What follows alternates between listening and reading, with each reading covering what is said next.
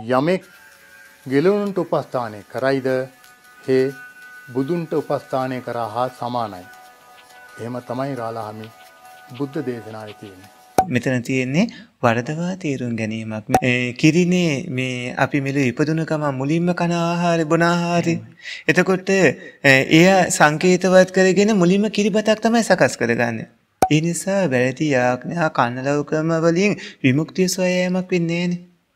සිංහල අලුත් අවුරුද්ද සමරනවා කියලා සිංහල අලුත් අවුරුද්ද සරණ ගිහිල්ලා ඒ ඔස්සේ විමුක්තිය බලාපොරොත්තු වෙනවද කවුරු හරි සිංහලෙක්. ඉතින් ඒකෙන් ඒ ජන ජීවිතයට යහපතක් වෙනවා නම් නමුත් ඒ අය ඒක නිවන් දැකීම උදෙසා භාවිතා කරන එකක් නෙමෙයි නම් ජන ජීවිතයට අදාළ කරගන්න සම්මුතියේ පවතින යම්කිසි කාරණාවක් නම් ඒක අපි මේ සීලබ්බත පරාමාසයක් විදිහට වර්ධවා ගත යුතු නැහැ නේද?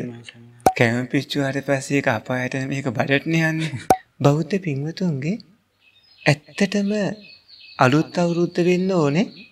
මේ මොහොත නෙමෙයිද මේ මොහොතේ චතුරාර්ය සත්‍ය අවබෝධය ලබන මොහොත නෙමෙයිද වලාහක දේවරු පිරිසක් වෙනම ඉන්නවා ඒ අයගේ සංසර්ග ක්‍රියාවලියක් එක අකල් වැස්සක් වහින්න පුළුවන්. කරත්ත රෝධ තුනක් එකතු කළා මැද තියෙනවන සිදුරා. අන්න ඒ වගේ තමයි සක්වල තුනක් එකතු වන තැන මැද තියෙනවා ලෝකාන්තරික නරකයක්. කලුකුහර පිළිබඳව සඳහන් වෙනවා අන්ධකාර සූත්‍රයේ.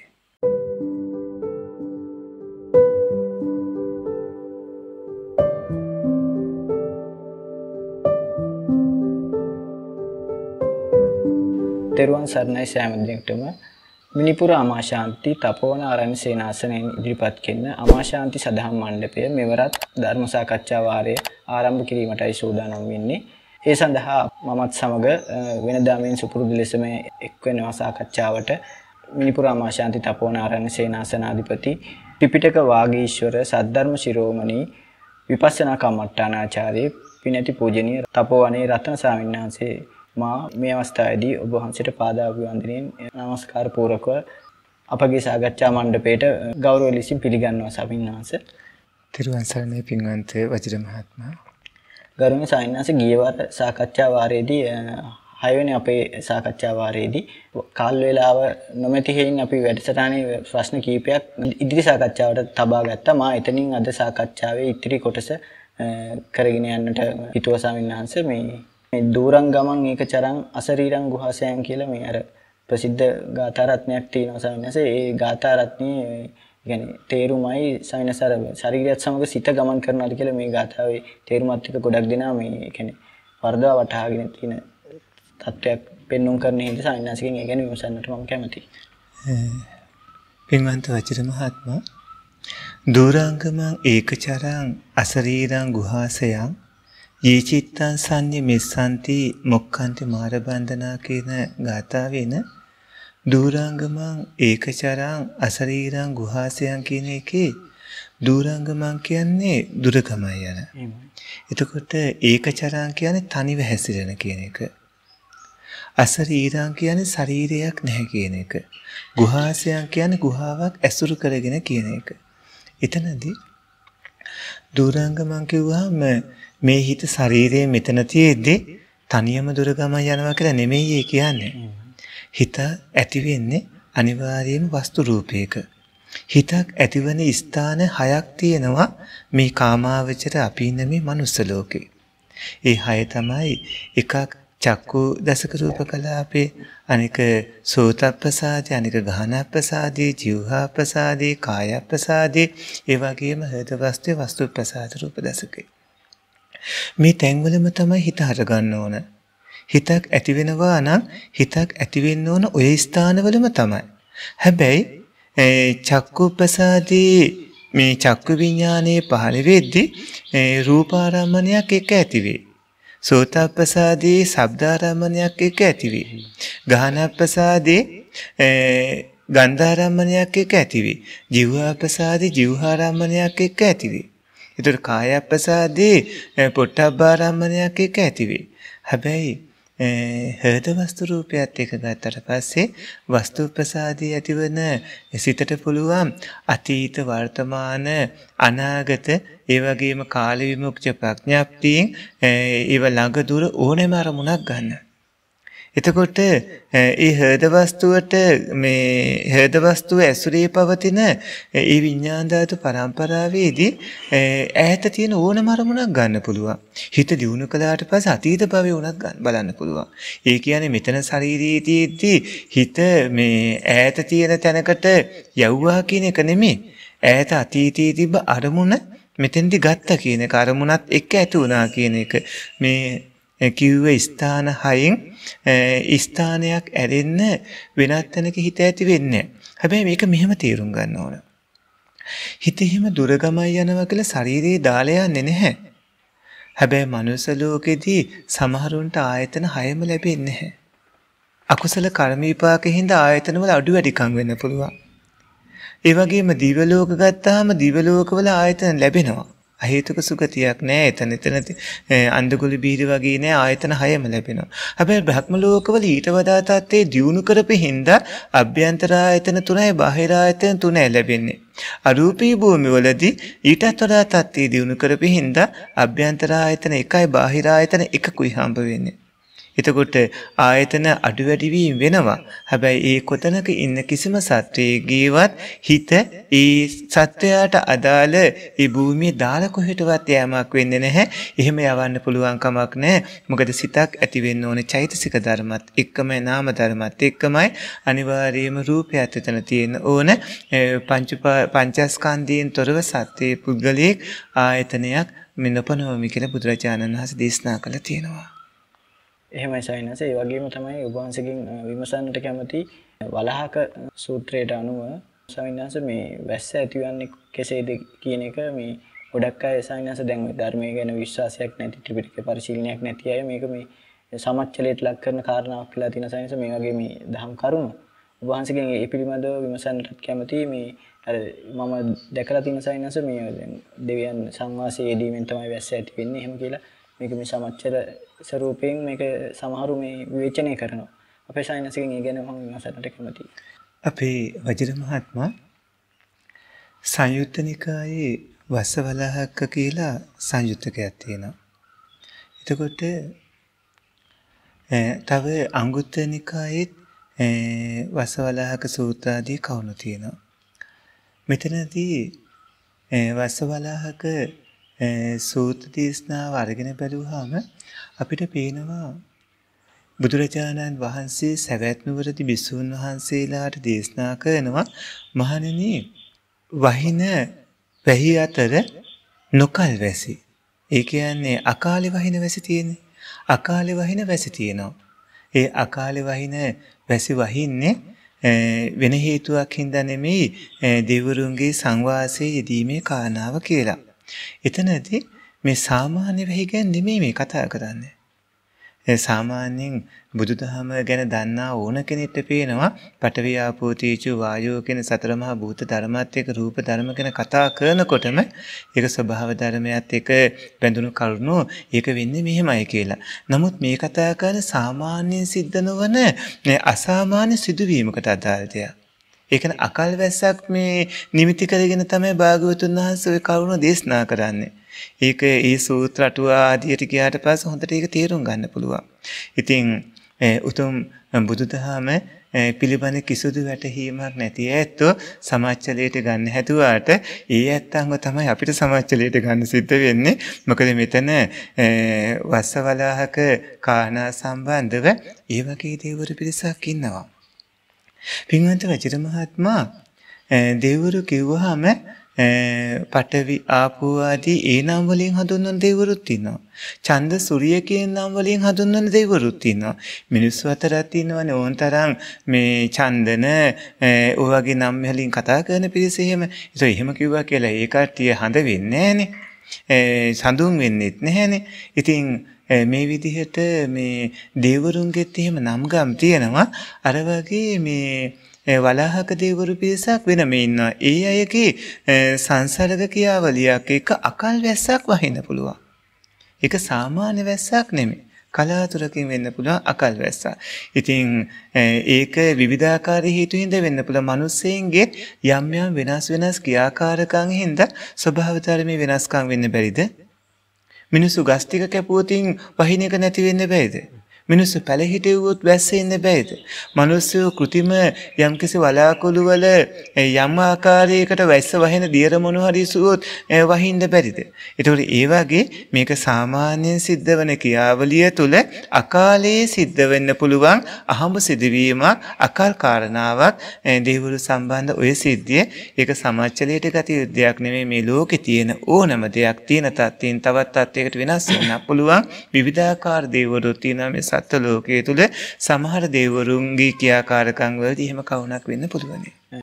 කියන්නේ සයන්ස් මේ දැන් සීත උෂ්ණ ආදී මේ ඒ කියන්නේ ඔය පාරිසරික මේ වෙනස් වීම වලට සයන්ස් මේ දෙවිවරු සම්බන්ධයක් තියෙනවා දේහ සම්බන්ධ. ඒ කියන්නේ දෙවිවරු නිසා වැස්ස ඇති වෙනවා, අවු ඇති වෙනවා, මේ සීත උෂ්ණ ආදී ඇති වෙනවා කියලා එහෙම කෙනෙක්ට හිතන්න පුළුවන් සයන්ස් ඒක සත්‍යයක්ද? එතන සිද්ධ වෙන්නේ මෙහෙමයි. සමහර අවස්ථාවල දෙවිවරුන්ට ඉදී කරන්න පුළුවන්. සමහර දෙවිවරු පිරිසකට නමුත් හැම දෙවියෙක් කෙනෙක්ටම එහෙම කරන්න පුළුවන් කමක් නැහැ. ඒ වගේම සමහර අවස්ථාවලට විතරක් මේ සාමාන්‍යයෙන් සිද්ධ වෙන හැමදේම දෙවියන්ට අදාළ නැහැ. දැන් දීවවසතු කාලීන කියලා අපි කතා කරනවානේ. එතකොට සුදුසු කාලයේදී දෙවරු මේ වැස්ස ලබා දීම ආදී කරුණු දැන් ගොවිතැන් බත් ආදී කාරණා කරද්දී හුඟක් කළා දෙවියන්ට බාර හරි වෙමි යම් යම් කරුණු තියෙනවානේ. එතකොට සමහර දෙවිවරුන්ට තියෙන ස්වභාව ධර්මයේ යම් යම් කරුණු වෙනස් කරන්න පුළුවන් හැකියාවක් තියෙනවා. හැබැයි හැම දෙවි කෙනෙක්ටම නෙමෙයි. එතකොට දෙවියන් පිට ඔක්කොම තියන්නත් බෑ. මොකද දෙවිවරු මුළු ස්වභාව ධර්මයේ වැස්ස ලබා දීම ආදී ඔක්කොම කරුණු කරනවා කියලා. දැන් පායන නියගයන් විවිධ කාරණා එහෙම ආවම සමහර දෙවිවරුන්ට කරන්න පුළුවන් සීමා සහිත හැකියාව තියෙනවා. අවසරයන්ස මොන වගේ දේව කොටස් වලට දෙන්න හැකියාව තිබෙන්නේ? සාමාන්‍යයෙන් ඒ සම්බන්ධව අපිට හතර සූත්‍ර දේශනාව ගන්නකො රතන සූත දේශනාවේදී අර තිබුණු තුම්බිය නැති කරන කාරණාවට භාග්‍යවතුන් වහන්සේ වැඩම කරනකොටම දෙවිවරු එහෙම ඒකරාශී වෙලා ඒ සිද්ධ වුණු විස්මීජනක සිදුවීම හිතන්නකො මහා වැසි ඇවිල්ලා අර අවුරුදු ගාණක් මේ තිබ්බ දුර්භික්ෂය එහෙම නැති කරලා ඒ තිබුණු සියලුම මේ මලමිනි ඔක්කොම ගහගෙන යමින් පිරිසුදුණු විදිහ හිතන්නකො. ඒ වගේම දැන් නුවර ගත්තාම මහනුවර දල්දා වැස්ස ගැන හැමෝම කතා කරනවනේ ඒ කාලේ. ඒ දල්දා වැස්ස එහෙම ඇති වුණු විදිහ හිතන්නකො. ස්වභාව ධර්මයත් එක්ක මේ කරුණ බැඳෙනවා. දැන් විශේෂයෙන්ම බුදුදහමට අදාළ කරුණවලදී එහෙම වහින් නැති කාලා නියං කාලවලදීම දල්දා ප්‍රදර්ශන එහෙම පවත්වනකොට දල්දා හඳු ප්‍රදර්ශනය කරද්දී ඒ වගේම අපේ අතීත රජ කෙනෙක් හිටියා ඒ රජතුමා රුවන්මැලි චෛත්‍යරාජාණන් වහන්සේ ළඟ සලපත්ල මළුවේ ඉඳිමින් වහින කම්මම නැගිටින්නේ නැහැ කියලා තමන්ගේ රටවැසියන් ගැන තියෙන අසීමිත කැක්කුමකින් ඒ විදිහට පරියන්කයෙන් හිටිය අන්තිමට මහා වැස්සක් වැහෙන දෙවිවරු සැලැස්සුවා. ඒ වගේ දෙවිවරුන්ට කරන්න පුළුවන් සීමාවක් තියෙනවා. දෙවිවරු ඒ වගේ කාරණා කරනවා. ඉතින් එහෙම නොවන අවස්ථාවක් තියෙන ස්වභාව වැඩි වශයෙන්ම තියෙන්නේ ස්වභාවික ක්‍රියාකාරකම අර විදියට අහම්පින් වෙන්න පුළුවන් දෙවියන්ගේ යම් යම් ක්‍රියාකාරකම් එක්ක. බොහොමත්ම පැහැදිලි සයිනස් ඔබ වහන්සේට බොහොමත්ම පිං. ඊළඟ මේ ප්‍රශ්නෙට මම යොමු වෙනන් ස්වාමීන් වහන්සේ. අවසරයි ස්වාමීන් වහන්සේ මේ ලෝකාන්තර නිරේ පිළිබඳව ස්වාමීන් වහන්සේගෙන් අහන්නට කැමතියි. ස්වාමීන් වහන්සේ මේ කලු කුහර වලටමද මේ ලෝකාන්තර නිරේ කියලා කියන්නේ ගොඩක් දෙනෙක් අර එහෙම මතයක ස්වාමීන් වහන්සේ මේ පසු වෙනවා. ඒ ගැන ඔබ වහන්සේගෙන් ධර්මානුකූල පිළිතුරක් මම බලාපොරොත්තු වෙනවා. එතනදී කලකුහර පිළිබඳව සඳහන් වෙනවා අන්ධකාර සූත්‍රයේ. අච්චරියබ්බූත සූත්‍රය වගේ තැන්වල ලෝකාන්තරික නරකය ගැන එහෙම කතා කරනවා. එතනදී අපි මේ සුත්ත වර්ණනාවට අටුවාවට එහෙම ගියාට පස්සේ අපිට මේ පිළිබඳ බොහෝ විස්තර එනවා. විශේෂයෙන්ම අපි සක්වල තුනක් එකතු වන තැන හරියට අපි සුත්ත වන්දනාවේ එන්නේ කරත්තරෝද තුනක් එකතු කළා මැද තියෙනවන සිදුරා අන්න ඒ වගේ තමයි සක්වල තුනක් එකතු වන තැන මැද තියෙනවා ලෝකාන්තරික නරකයක්. අන්න ඒ තමයි ලෝකාන්තික නරකය වෙන්නේ. එතකොට ඒකේ යොදුනොත් යොදුන් ප්‍රමාණය සඳහන් වෙනවා. එතකොට ඒ වගේම අපි අන්ධකාර සූත්‍රය වගේ තැන්වලට ගියාට පස්සේ භාග්‍යවතුන් වහන්සේ මේ විශ්වයේ අඳුරු කුහර තියෙන ආකාරය ඒ කියන්නේ අඳුරු ස්ථාන පිළිබඳව දේශනා කළා. දැන් මේ විශ්වයේ ස්වභාවය ගත්තාම ඔය කියන කවුණු දෙක එකක් නෙමෙයි දෙකක්. ඒක පටලව ගන්න හොඳ නැහැ. මොකද සක්ව ලෝක ධාතුන් සිසාරා හැම තැනම බලනකොට ඈත පිට විශ්වයේ අපි පෘථිවියේ ඉරහඳ එක ගත්තා මේවා නිකන් පුංචි වැලි කැට වගේ මහා විශාල ස්ථානත් එක ගත්තට පස්සේ සමහර ගාවස්තු සමහර මේ සීරපත සමහර ඒවා ගත්තා ඒවා අති විශාලයි. එතකොට ඒ වගේ දිගපල්ලේ ඒ ප්‍රමාණත් වෙනස් වෙනවා. ඒක සක්වල තුනක් අතර කාරණාව කියන තැනයි අන්ධකා සූත්‍රේන කරුණුයි දෙකම එකක් විදිහට ගන්න නැතුව ඒ සූත්‍ර දේශනාවල තියෙන ආකාරයටමයි ඒ ගන්නට ඕන. මොකද මේ පුංචි කතාවක් ගැන කියනව නෙමෙයි. එහෙමයි සයි. ඒ වගේම අහන්නට කැමති මේ තවත් මේ පිරිස අතර තියෙන මේ තවත් දුර්මතයක් කියලා කියන්න පුළුවන් සයිනන්ස් මේකට ගරුණී සයිනන්ස් මේ සෝ ගිලානෝ පට්ටතිතෝ සෝමම් පට්ටති කියලා මේ පාලි පාටයක් තියෙන සයිනස මේ බුදුරජාණන් වහන්සේට උපස්ථාන කරහා සමානයි ගිලනුන්ට උපස්ථාන කිරීම කියන අර්ථය දෙන විදිහේ යමෙක් ගෙලවුන්ට උපස්ථානය කරයිද ඒ බුදුන්ට උපස්ථානය කරා හා සමානයි. එහෙම තමයි රාලාහමි බුද්ධ දේශනාවේ තියෙන්නේ. සයිනස මේක මේ බොහෝ විටක පාටයක් විදිහටත් සමහර යොදා ගන්නවා. මේ මම දැකලා තියෙනවා සමිනස්. ඉතින් ඔබ වහන්සේගෙන් අහන්නට කැමතියි මේකේ සත්‍යතාවය මොකක්ද කියන්නේ යම් කිසි කෙනෙක් ගිලනෙක්ට උපස්ථාන කිරීම භාගතුන් වහන්සේට අප උපස්ථාන කරහා සමානම ඒ කුසල බලයම ලැබෙනවද කියන එක සමිනස්ගෙන් විසන්නට කැමතියි. පින්වන්ත වජිර මහත්මයා අපි විනය පිටකයේ ජීවරක්ඛන්දකයට ගියාට පස්සේ අපිට ওই පිළිබඳ විස්තරය හම්බ වෙනවා. එතන භාග්‍යවතුන් වහන්සේ පාඨයේ දේශනා කරනකොට මෙන්න මෙහෙමයි දේශනා කරන්නේ. පින්වත් මහණෙනි ඔබලාට ඔබලාවට උපස්ථාන කරන්නට මවක් හෝ පියෙක් හෝ නැහැ. ඔබලාට උපස්ථාන කරන්නේ ඔබලාමයි. ඒ නිසා කවුරු හරි කෙනෙක් මම කියන දේ පිළිපදනවා නම් ඒ කෙනා ගිලනුන්ට උපස්ථාන කළා වෙනවා කියන එකයි ඒ පාට තීරුම. පාට තීරුම කවුරු හරි කෙනෙක් මම කියන දේ අහනවා නම් පිළිගන්නවා නම් ඔහු ගිලනුන්ට උපස්ථාන කළා කියන එකයි. වරදවා ගැනීම. මෙතන තියෙන්නේ වරදවා තේරුම් ගැනීමක් මිසක් මෙතන භාග්‍යවතුන් වහන්සේ දේශනා කළ කවුන ඒ විදිහටම කීමක් නෙමෙයි වෙලා තියෙන්නේ. භාග්‍යවතුන් වහන්සේ දේශනා කළදී කවුරු හරි පිළිගන්නවා නම් ඒ කෙනා ගිලනුන්ට උපස්ථාන කළ කෙනෙක් වෙනවා. එතකොට මෙතන තියෙන වරදවා තේරුම් ගැනීම. එහෙමයි සයින්ස්. ගෞරවනීය සයින්ස් මේ මේ කාලේ වෙනකොට සයින්ස් මේ හැම වසරකම වගේ අපිට එන ප්‍රශ්නයක් ඔබ වහන්සේගෙන් මේ වසරට කැමති බොහෝ අන්තර්ජාලයේ බොහෝ උණුසුම් වෙන කාල සීමාවක් මේ ගැටලුවත් එක්ක සයින්ස් මේ මම දැකලා නැහැ කිසිම සාමින්හන්සේ නමක් මේ ගැන ඍජු පිළිතුරක් ලබා දෙනවා. මම හින්දා ඔබ වහන්සේගෙන් විමසන්නට කැමතියි මේ පිළිබඳව.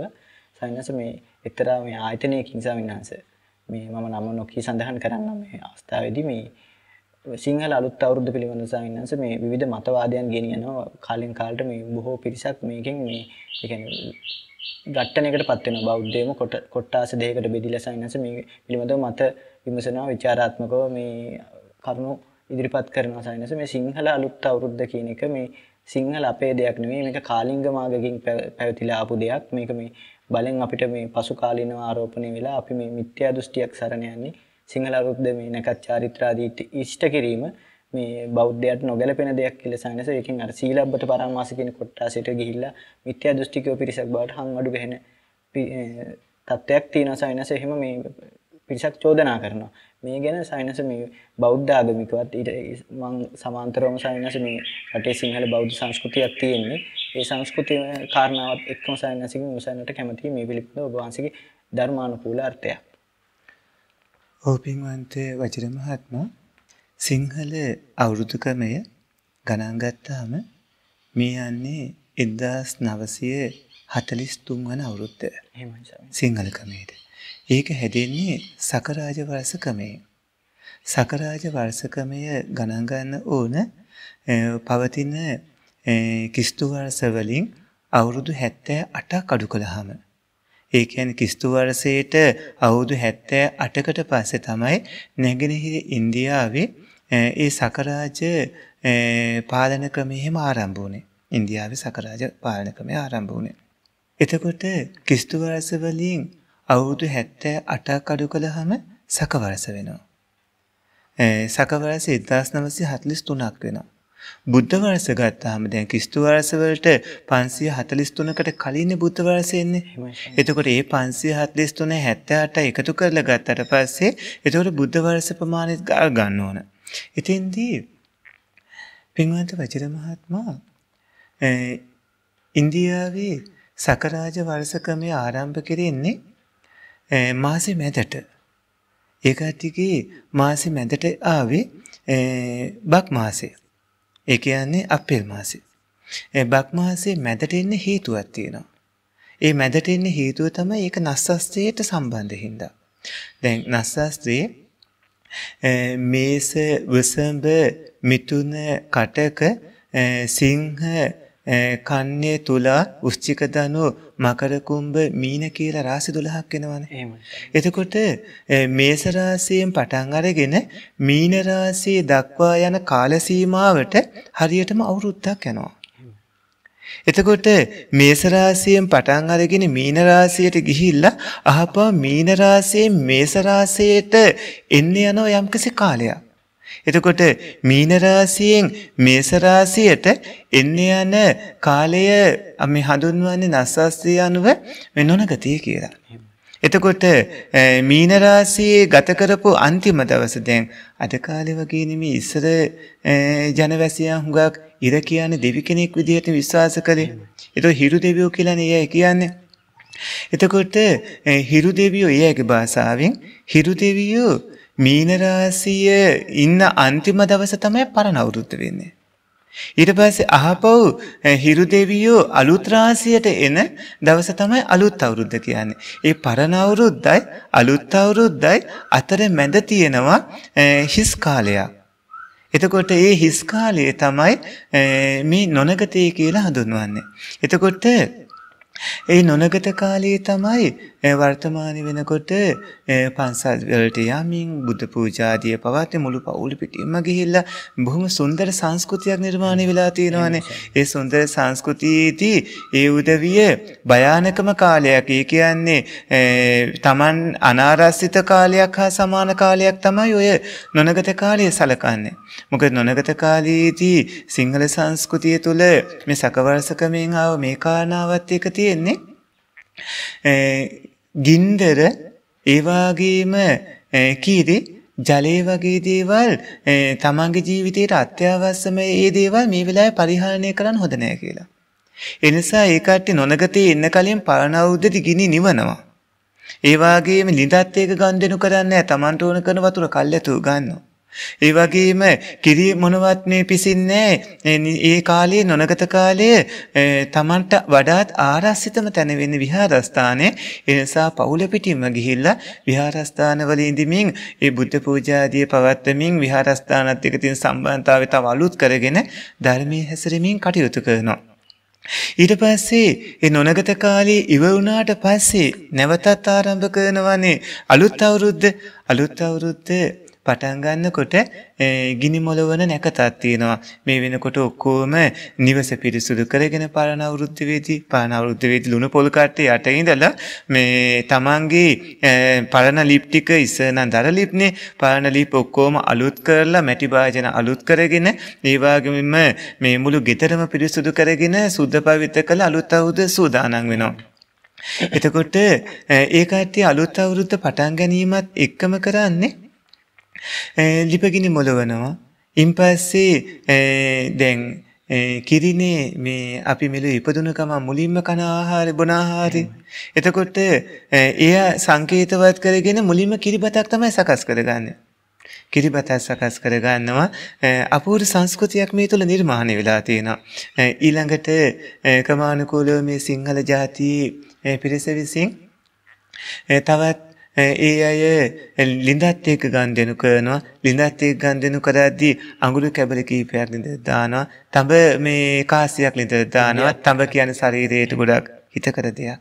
තඹ ඕන ඒ වගේම අඟුරු ජලයේ පිරිසුදු කරන දෙයක්. සමන් පිච්ච මල් ආදී පොඩි පොට්ටනියක් සුදු රෙද්ද ගැට ගහලා ලිඳට දාලා ඊට පස්සේ වතුර අරගෙන ලිඳත් එක්ක ගන්දෙනු කරන්නේ. මේ විදිහට මේ සිංහල අවුරුද්ද ජනකීට විවිධ කාරණාත් එක්ක සැකසিলা අවසානයේ දුර ඉන්න ළමයි මව්පියන්ට වඳින්න එන මව්පියොත් ළමයි බලන්න යන. ඒ වගේම සහෝදර සහෝදරයන් ඔක්කොම මහගෙදර එකතු වෙන හැමෝම මහගෙදරට එන තමන් උපන් තැනට එන.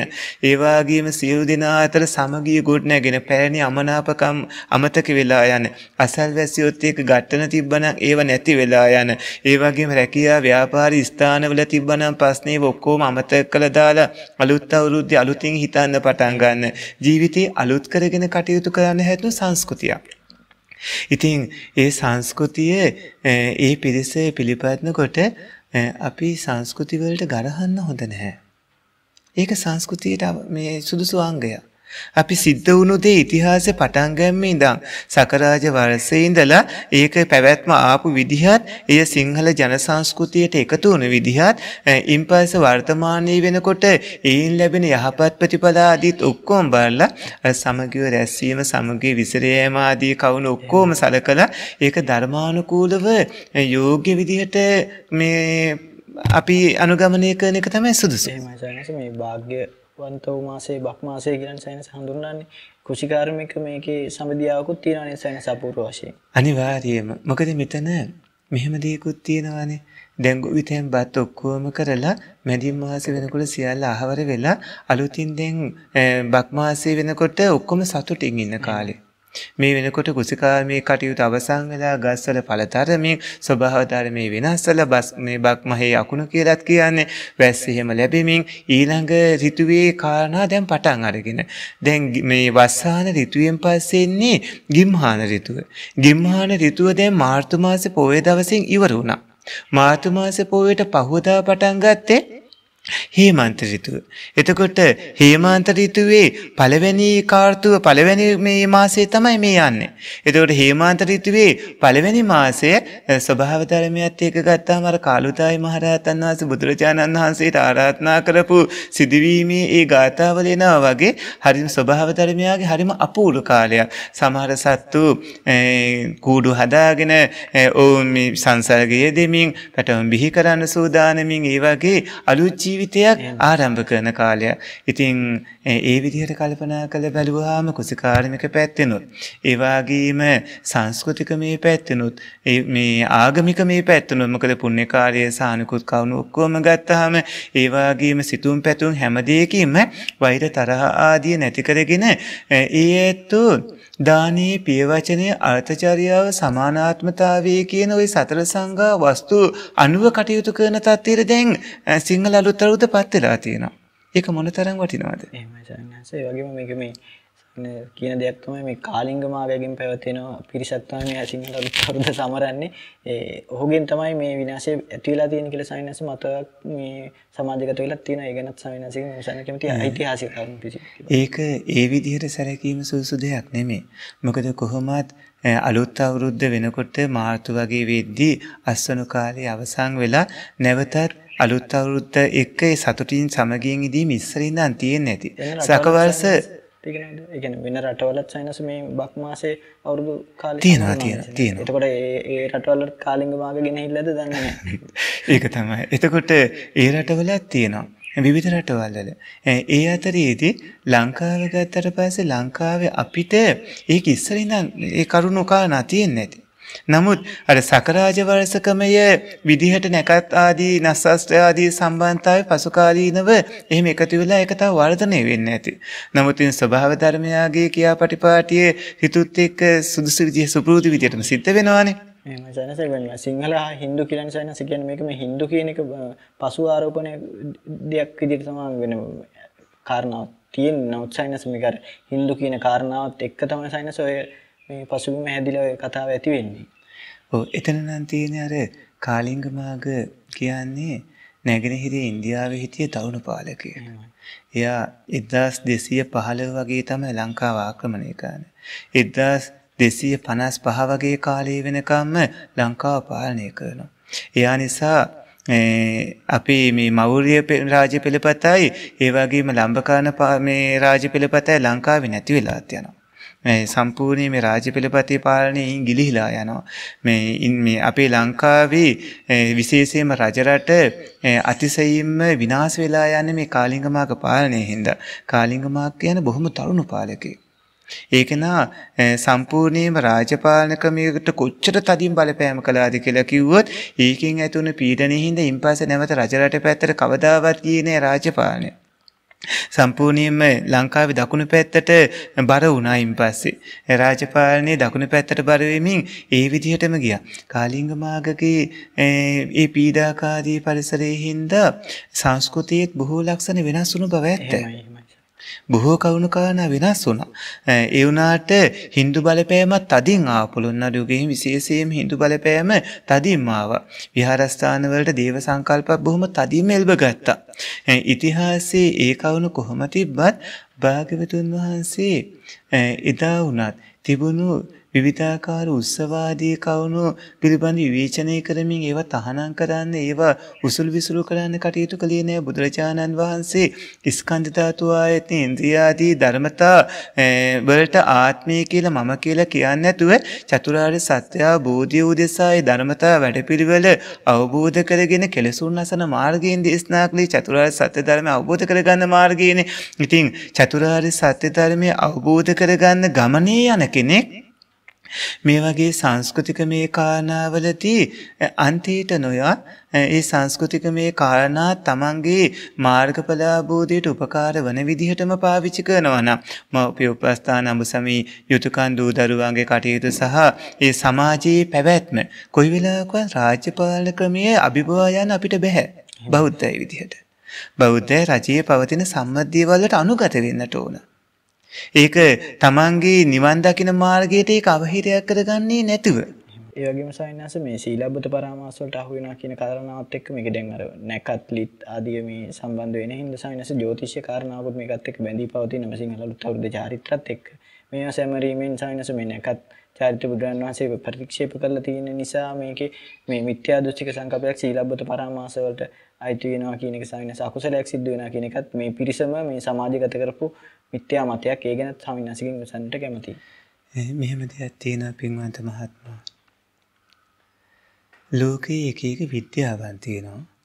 ඒ විද්‍යාවන් ආරම්භ කළා වගේම ඒවා පවතින්නේත් ඒවා පවතින විදිහට යම්කිසි විශ්වාසයක් ගොඩනැගෙමින් යම් යම් ඒවා පිළිබඳ සත්‍යතාවයක් තියෙන හින්දානේ. නැත්තම් මේ පටන් ගත්ත විද්‍යාවන් අභාවයට යන්න එපාය. නමුත් ජ්‍යොතිෂ කියන්නේ එක්තරා විද්‍යාවක්. අසම්පූර්ණයි. නමුත් එක්තරා විද්‍යාවක්. එතකොට ඒ අනුවත් ජන ජීවිතේ සකස් වෙලා තියෙනවා.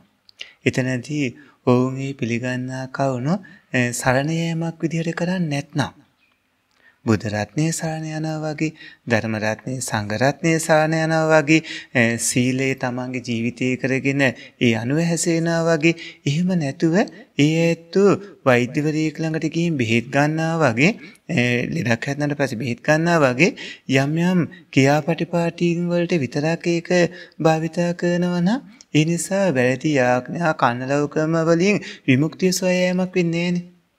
සිංහල අලුත් අවුරුද්ද සමරනවා කියලා සිංහල අලුත් අවුරුද්ද සරණ ගිහිල්ලා ඒ ඔස්සේ විමුක්තිය බලාපොරොත්තු වෙනවද කවුරු හරි සිංහලේ? සිංහල අලුත් අවුරුද්දෙන් කවුරු හරි කෙනෙක් විමුක්තිය බලාපොරොත්තු වෙනවද? Taman ගලවා ගන්නට, Taman මේ සසර දුක් නසන්නට. එතකොට වැරදි ආඥා ක්‍රම විවිධ කන්නලවක විවිධ ගෝත අජවත කුකුරුත වගේ උත සමාදාන විවිධාකාර ඒවත් එක්ක ආත්මේ මම සත්‍යයා පුද්ගලයා කියලා හිතන් ඉන්න කාරණාවට අදාළව ඒකෙන් ගැලවෙන්න හිතාගෙන කරන විවිධාකාර උත සමාදාන වගේ ක්‍රමයකට සිංහල අවුරුද්ද යන්නේ නැහනේ. සිංහල අවුරුද්ද යම්කිසි සංස්කෘතික දෙයක්.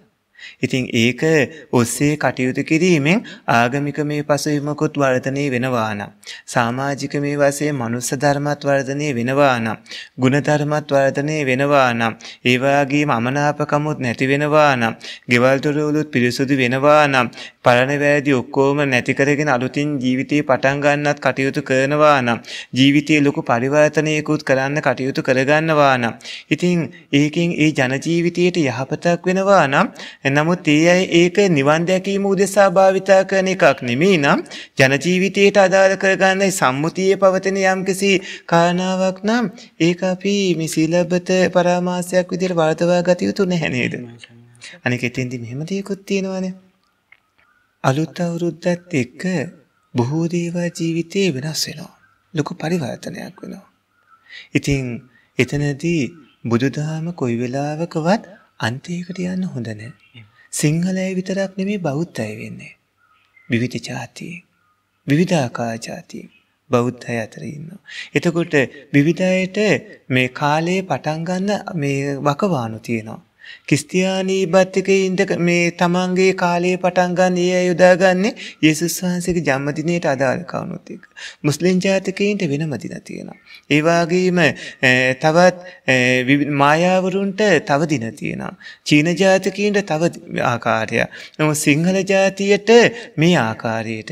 ඉතින් ඔවුන් ඔවුන්ගේ ජන සංස්කෘතියත් එක්ක කටයුතු කරන කාරණා ආගමට විරුද්ධ දෙයක් විදිහට සලකලා කටයුතු කරන්නේ නැතුව ඒ ඇත්තු සසරින් එතර වන ගමනට සුදුසු විදිහට කළමනාකරණය කරලා මඟ පෙන්වීම තමයි වඩා සුසු නේද? එහෙම සයන්ස් මේකත් එක්ක බෙදලා තියෙන දෙයක් තමයි මේ සයනස මේ අපේ වෛශාඛ මංගලයේ වෙසක් මංගල්‍යය තමයි සිංහල බෞද්ධයාගේ අලුත් අවුරුද්ද විදිහට හඳුන්වන්නේ. එතකොටම සයනස ගැටුම් එක්කන දැන් මේ සංස්කෘතිමය කාරණා අපේ භාග්‍යතුන් වහන්සේගේ තෙමගුලත් එක්ක අපිට සමරන්න බැහැනේ. දැන් කුඩා දරුවන් එහෙම ගත්තාම අලුත් ඇඳුම් අඳිනවා කැට ගන්නවා ඊට පස්සේ ඕකේ අර මේ ගිනි කෙලි ඒ වගේ දේවල් තියෙනවා බොහොම ඒ කියන්නේ කම කියන්නේ ලෞකික පැත්තෙන් බොහොම ආකාරයෙන් සතුටු වෙන ස්වභාවයක් මේකේ තියෙනවනේ එකමුතුවක් අර වහන්සේ කිව්වා වගේ.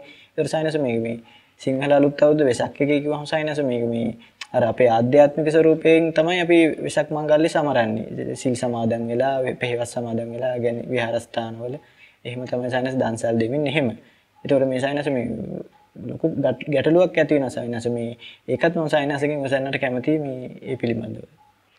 එතෙන්දී සිංහල අලුත් අවුරුද්ද වෙසක් එකද කියලා කිව්වොත් වෙසක් කියලා කියන අපේ භාග්‍යවත් බුදුරජාණන් වහන්සේගේ උතුම් තෙමගුල. තෙමගුල ආරම්භ වුණේ අවස්ථා තුනකදී. ඒ කියන්නේ භාග්‍යවතුන් වහන්සේ මේ මෙලොව බිහිවීම, ඒ වගේම බුද්ධත්වයට පත්වීම, පේනවම් පෑම කියන අවස්ථාත් එක්ක. බෞද්ධ පින්වතුන්ගේ ඇත්තටම අලුත් අවුරුද්ද වෙන්න ඕනේ මේ මොහොත නෙමෙයිද? මේ මොහොතේ චතුරාර්ය සත්‍ය අවබෝධය ලබන මොහොත නෙමෙයිද?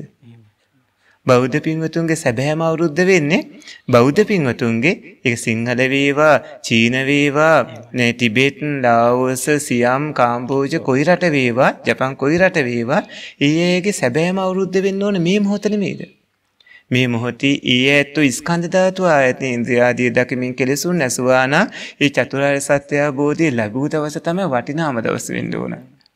ඉතින් භාග්‍යවත් බුදුරජාණන් වහන්සේ ජීවමාන වැඩ සිටියේ කාලෙදී මේක තමයි අවුරුද්ද කියලා කියපු දේශනාව දේශනා කරපු එහෙම උතුම් දේශනාවක් නෑ නේද? භාග්‍යවතුන් වහන්සේ දේශනා කරපු උතුම් චතුරාර්ය සත්‍ය ධර්මයේ මිසිත සීසත් ධර්මයේ තුල තියෙන්නේ චතුරාර්ය සත්‍ය අවබෝධය අවබෝධ කිරීමයි. චතුරාර්ය සත්‍ය බෝධ ඥානයේ කෙලෙසුන් නැසා නිවන් දැකීමයි.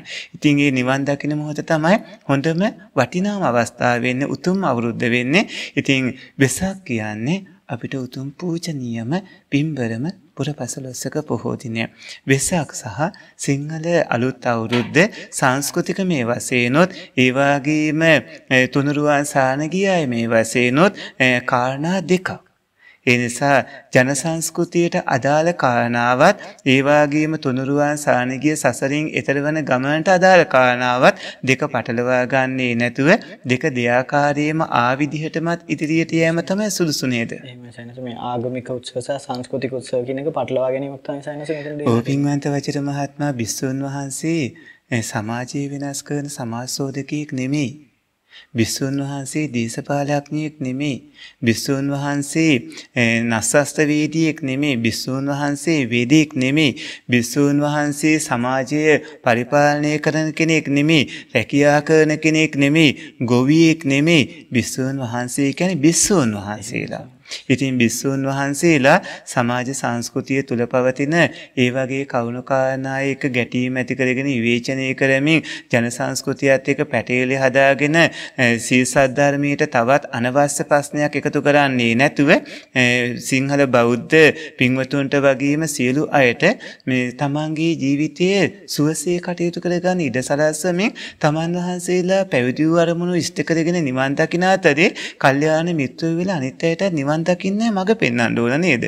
ඒ ඇරෙන්න අනවශ්‍ය ඝට්ටනයක් ප්‍රශ්නයක් නිර්මාණය කළ යුත්තේ සමාජය තුළ යම්කිසි රාජපාලන ක්‍රම සහ සංස්කෘතිය තුළ යම් කිදා බැහුණු කවුණක් තියෙනවා නම් ඒ චතුරාර්ය සත්‍ය අවබෝධයට අදාළ කවුණක් නෙමෙයි නම් චතුරාර්ය සත්‍ය අවබෝධයට අදාළ පැත්තට ඒ අය යොමු කරවමින් කටයුතු කරන්න ඕන දෙක අතර ඝට්ටනයක් ඇති වෙන දෙන්නෙත් නැතුව. අවසරයි සයනස එහෙමනම් ඉතින් අපිට මේ බ- විශි- විශේෂයෙන්ම සිංහල බෞද්ධයට බය වෙන දෙයක් නැහැ මේ කැවුම් පිච්චුව ආ- ආහාරයට ගත්තම අපාය යනවා කියන කාරණාවත් එක්ක ඔබ වහන්සේගෙන් දැනගන්න කැමති කො- කෙසේද අපි ඉවර සිංහල අලුත් අවුරුද්ද සැමරිය යුත්තේ කියන එක අපි බෞද්ධ පින්වතුන්ට පණිවිඩයක් දෙනවා නම් මේ වෙලාවට බොහොම වටිනවා අපේ සයනස.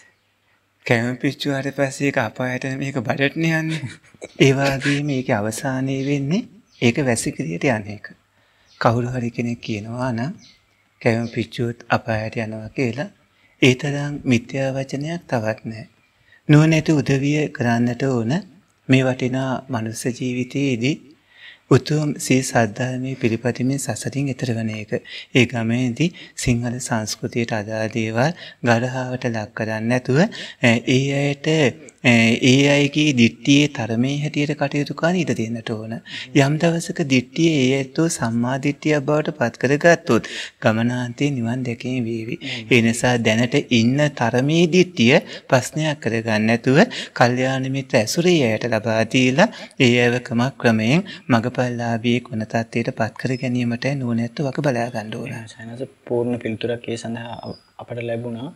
ඒ වගේම කියන්නට කැමති සිංහල බෞද්ධයෙක් විදිහට ඔබ අවුරුදු සමරද්දී අ, විහාරස්ථාන විසකොත් උන්වහන්සේලා බඩගින්නේද කියලා හොයලා බලන එක අපේ යුතුයකමක් නේද ස්වාමීන් වහන්සේ?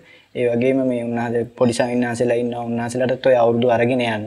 එහෙම කියමින් අ, සිංහල බෞද්ධ ඔබ සැමටම තෙරුවන් සරණ ප්‍රාර්ථනා කරමින් අද අමා ශාන්ති සදහම් මණ්ඩපය මෙතනින් අවසන් කරනවා.